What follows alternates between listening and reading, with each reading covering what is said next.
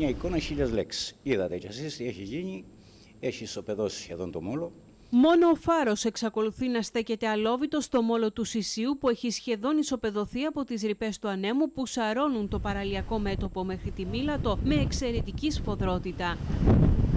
Φτάσαμε στο σημείο 0.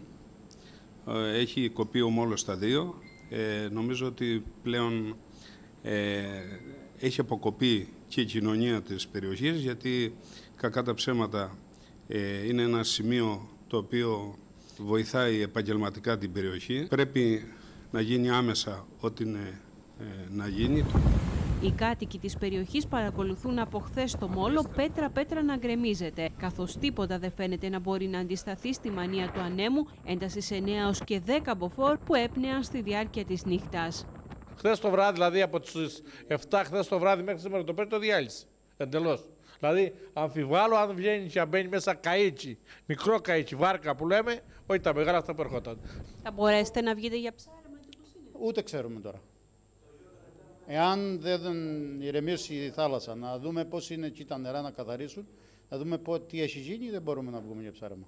Ε, στις προτεραιότητες μας για το ε, 20 είναι να ανατεθεί πλέον με το νέο νομικό πλαίσιο που αρχίζει να διαμορφώνεται η μελέτη αποκατάστασης του μόλου καθώς επίσης και το έργο στη Μήλατο, ούτως ώστε να δρομολογηθεί και να υλοποιηθεί στο συντομότερο δυνατό για τα δεδομένα του δημοσίου χρόνο αυτό το έργο υποδομής για το ΣΥΣΥ. Ο μόλος κατασκευάστηκε πριν από ακριβώς 20 χρόνια και ένα χρόνο αργότερα σε παρόμοιες καιρικές συνθήκες έμεινε σχεδόν ο μισός. Έκτοτε ουδής ενδιαφέρθηκε σοβαρά για να αποκατασταθεί, όπως επισημαίνουν με μεγάλη απογοήτευση οι κάτοικοι της περιοχής που ζητούν άμεση λύση. Είναι βασικό έργο ανάπτυξης.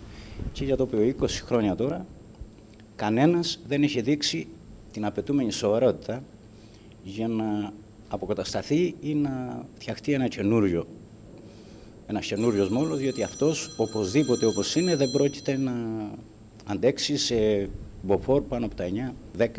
Η περιοχή, η κοινότητα ε, δεν νομίζω ότι θα μπορέσει να λειτουργήσει χωρίς το, το λιμάνι και το μόλο. Με πέτρες και χαλίτσια δεν μπορούμε να σταματήσουμε ένα μόλο σε αυτό το μέρος. Από τότε και μετά που χάλασε την πρώτη φορά δεν ήρθε κανένας να τον ξαναφτιάξει και μόνο ευχές και λόγια τα οποία βαρεθήκαμε πια.